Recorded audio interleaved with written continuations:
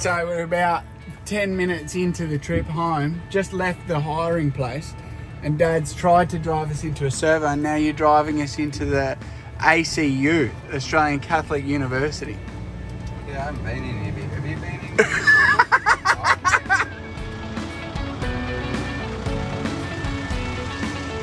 Pretty tight in our driveway. But that's all right, she fits. And we're away. It's my brother Jesse. My dad Dave. We've just picked up the KEA six berth, which is a big motorhome that is strapped to a Mercedes engine. We picked it up from the guys at Apollo. They were super helpful. They're a fantastic team down there. This particular model is an ex-fleet model which is now for sale. So you could actually buy this motorhome if you wanted, if Dad doesn't buy it first. Dad has been in the market for a motorhome for a little while, It never really pulled the trigger, so this is a bit of a test to see if he ends up buying one. It's pretty weird sitting backwards in a in a moving vehicle. Especially on bumpy Queensland roads. Well, there's so much room in here. So six berth means it's six sleep. Say that real fast three Six times. berth means it's sleep six. Six berth means it's sleep six. That's pretty good. And he had a speech impediment when he was younger too, so that's pretty good. We're heading to a spot not far from where we are on the Sunshine Coast. I'm just going to cross over the river, head to a little spot called Noosa North Shore, park up with a couple of beers by the beach for a few days, and we'll give it a run. This is going to be good for me. I'm not used to being in a motorhome. I've always been a caravan guy, so this is good. I'm enjoying it. So we're gonna get some food. The dangerous thing is it's not far from a pub, this campsite, so we don't know how much food we're actually gonna buy because we'll probably just end up at the pub. Jesse's a good cook though, which is why we brought him along, but he's not really come up with any good ideas yet. Stocked up. and old mate reckons he's too cool to not wear his sunnies inside, so. I'm too busy actually pushing the trolley rather than just holding my phone out. Yeah, it's pretty good. Oh, I've got a tough job. Oh, someone's got to do it though, guys. Someone's got to do it.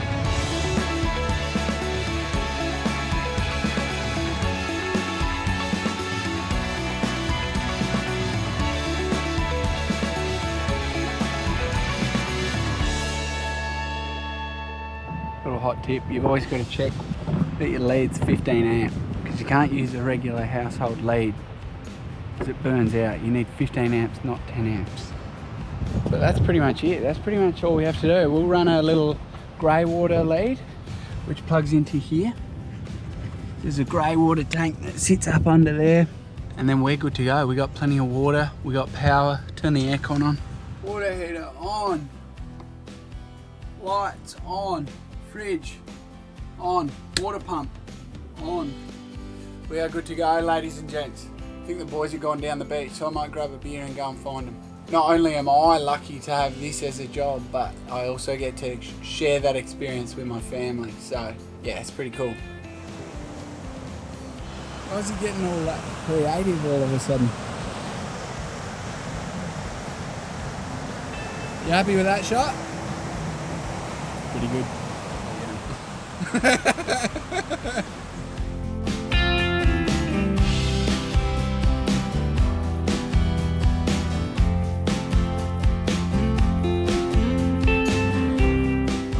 we doing? we are going to the pub for a feed. What are your thoughts so far? First thoughts so far. Well, it's just a home on wheels, isn't it? So like, it's not much more to say than that. It doesn't get much better. Oh, it's a KEA, and but it's K E A, not Okay. definitely not a K I A. It's, it's KEA. You got the brief. He needs a little bit of work, but we'll get him there. And then we've wandered into the pub, but uh, doesn't look very pubby. If there's and we didn't bring any food um, for dinner. Yeah, we could just jump on the ferry and go to. There's a pub just on the other side of the ferry. What's that? You're Ah. joking. So Jordie decided to bring us to Oh, a place no. where we're supposed to eat at Oh, the pub for two nights, and it's only open on Fridays and Saturdays, and we're here on a Tuesday and Wednesday. But that's the good thing about having your home on wheels. You can go wherever you want. Yeah and you don't have to pack up. You just jump in. Should have done some planning. Should have. planned.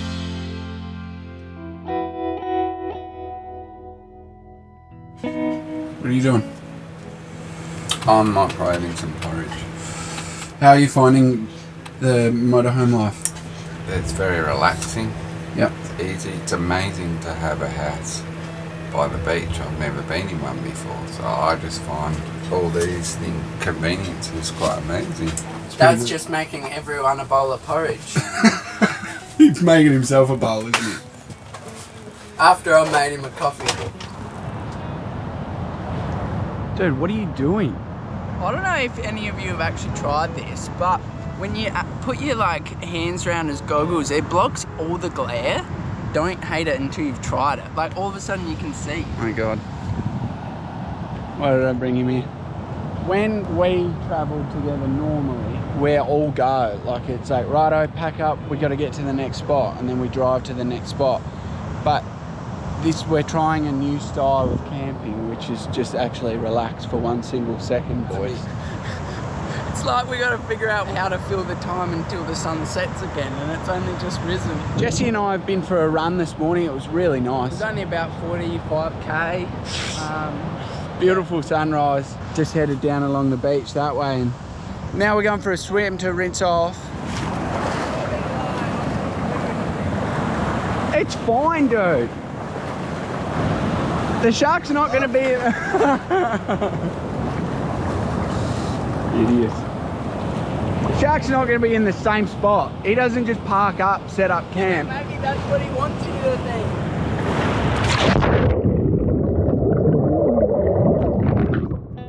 Oh.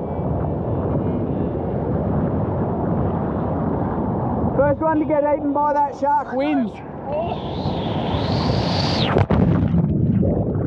Jesse's just come back from the beach with the biggest shell I've ever seen. Far out, dude. I was just walking along the beach and I thought, I thought, is that a footy? Unreal. Massive. Cool as. Sounds as hollow as your head, bros. You were saying something earlier about you reckon it drives really well. So this van's done what 190 odd thousand kilometres, and you can buy this now. What were you saying about the driveline? It just felt like solid. Felt, I don't know, probably like it was new. There's no rattly, it wasn't loose. The shifter felt nice, and Mm. there's no clunking or banging. It's just, just all feels smooth. Yeah, everything just feels like it's been looked after properly, doesn't it? I think that's the bonus if you were to buy something from ex-fleet, because you know it's been serviced properly, hey? It's hard to go past it, because then you pull up where you are and you don't even need to get out. You just walk from that seat and just come into your lounge room. It's going to be Pretty hard good. to go back to a 10 after this. Yeah. Eh? Yeah. Very hard. We might have to work out some sort of deal for you. Here we are, sitting back in the motorhome. It's very comfortable. Watching a movie. Looking out, the beach is just over there. Looking What out at all, all the poor people in tents. What more can Okay. anybody? What more can anybody ask for? Pretty good. This is living the dream.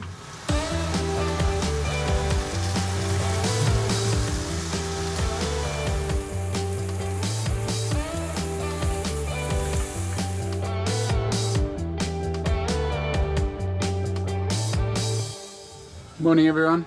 We're packing up. Last night we watched a movie. Well, some of us watched a movie, some of us fell asleep. I'm the only one that made it to the end of the movie. Was two movies. Yeah, oh yeah, we watched two movies. So we're just packing up now. Everyone's working as a great team. One of us is filming and one of us is two of us are No, we're up. we're all working as a great team, so we all play our roles. play to our strengths. We're gonna get head home, and then uh, when we head home, I'll do a little run through for you of the whole van inside and out. Once we've cleaned it up a bit, because there's, there's a bit of sand under my feet. So give it a tidy up, and I'll show you through inside and out. Rightio, so we're on the ferry, heading back home. I just thought I'd ask you guys quickly your final thoughts on the van. It's really convenient and easy. Yeah, Like I mean, you just pull up and you got everything. yeah. Fantastic.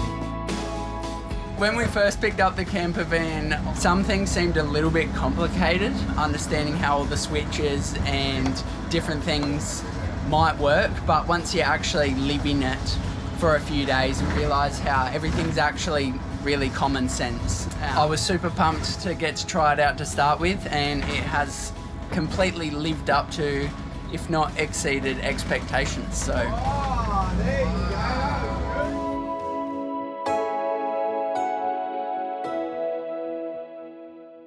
Okay, guys, so we're back home. The van is all emptied out. We got Ted and Dad in the front seat here being entertained. But I'm really excited to show you through this. So this is the KEA six berth, right? Camping in a camper van is not something I'm used to. And I don't know that much about camper vans. So I've learnt a lot in the last few days. Six berth, meaning sleep six. Hello, yeah, you're all right. You can come inside if you want. All right, so straight away you step inside, up the step here, which is still sandy, I've got to clean. All right, so main living area, really. This table packs up and then you fold these out and this becomes a two person bed. Up here is where Jesse slept, that's another two person bed. And then in here is the driving area, which is extremely comfortable. Good boy. You want to go for a drive? Yeah. Got your television, sort of your entertainment area. Four burner. So this one runs on 240. That's sort of like your induction. And then your gas cooktop there as well with like a little oven slash griller. Um, plenty of storage that you can see there, like heaps.